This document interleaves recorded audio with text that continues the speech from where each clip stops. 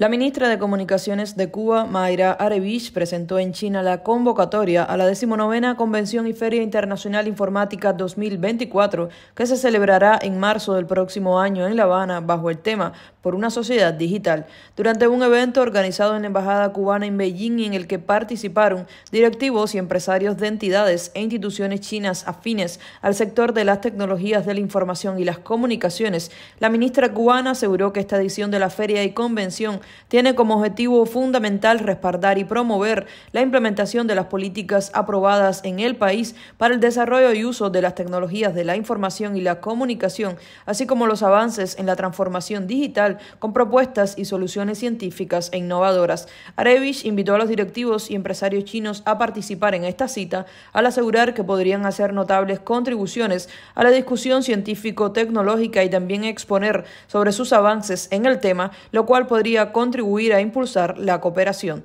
También se refirió a los cambios y al dinamismo que han experimentado los sectores de la informática y las comunicaciones de Cuba en la última década, aún en medio de las restricciones impuestas por el injusto y cruel bloqueo de Estados Unidos. Las autoridades cubanas han dicho que la convención y la Feria Informática 2024 será un espacio para el diálogo entre profesionales científicos, técnicos, empresarios, representantes gubernamentales, organizaciones internacionales, diferentes formas de gestión y el público en general interesados en promover, analizar e intercambiar información sobre el progreso de las tecnologías de la información y la comunicación. Desde Beijing, China, Lonny López e Irán Peraza, Prensa Latina Televisión.